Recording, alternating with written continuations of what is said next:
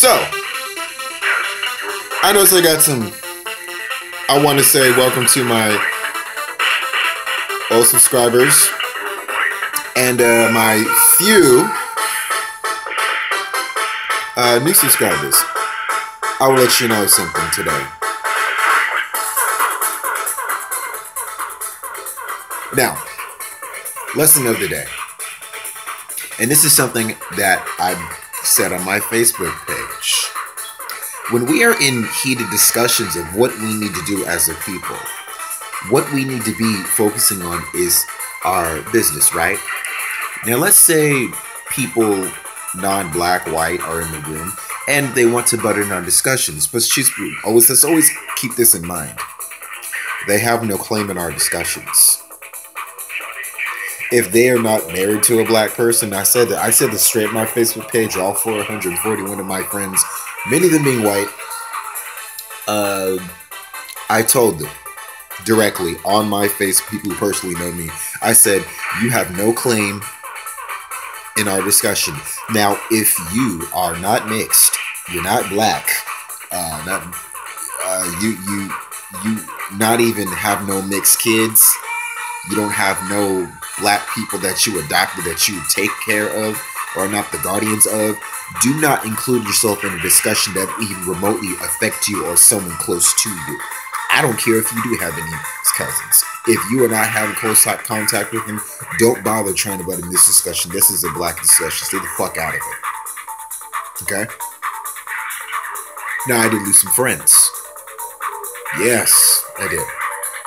But oh well, because why would you want someone who wants to try to benefit from our discussion. Because when black people actually start to get our shit together, we our, our our money and the culture goes with it. Our approval of what society likes to put upon us is no longer valid because we no longer feel it. Yeah. And another thing When it comes to double standards, Ryan Lochte and uh, Gabby Douglas. Now, Gabby Douglas, they're both. Gabby Douglas is like I think she's like a. I, I don't know what kind of fish. She, she's a she she's a she's a she's a U.S. Olympian athlete. Ryan Lochte specifically a swimmer in the Olympics. Now, Gabby Douglas is I think she's a runner uh, Ryan Lochte is a swimmer. Okay. Um, if y'all know, the, if you don't know who this guy is, look him up. He's all over the news because he actually got caught in Brazil. He damaged some property, peed on it, and he got caught by the uh, uh, Brazilian uh, police, and they made him pay. And right before he was forced to pay for the property damage that he caused, he was held at gunpoint. That's what made him pay for the property damage he had caused. Now, follow me when I say this. If the mainstream dominant society is going to downplay that this guy was actually an American, he was representing the US, and he lied and lied about how he was um, held at gunpoint what he did was just because he damaged property in another person's country, lied about it, and then wants to be held, doesn't want to be held accountable, is trying to lowball it, trying to, he did kind of admit to his wrong, but the fact that the dominant society is letting him downplay his misconduct in another country is blasphemy. Gabby Douglas, someone wants to, all non black people who want to hold black people accountable or want to get around you. And basically, you know, when Gab, okay, Gabby Douglas was scrutinized heavily for not having uh, having her her right hand over her heart during the national anthem, but Ryan Lochte also Olympian. Now, don't you see a racial hypocrisy here? Gabby Douglas didn't Gabby Gabby Douglas didn't uh, her hand over heart during national anthem.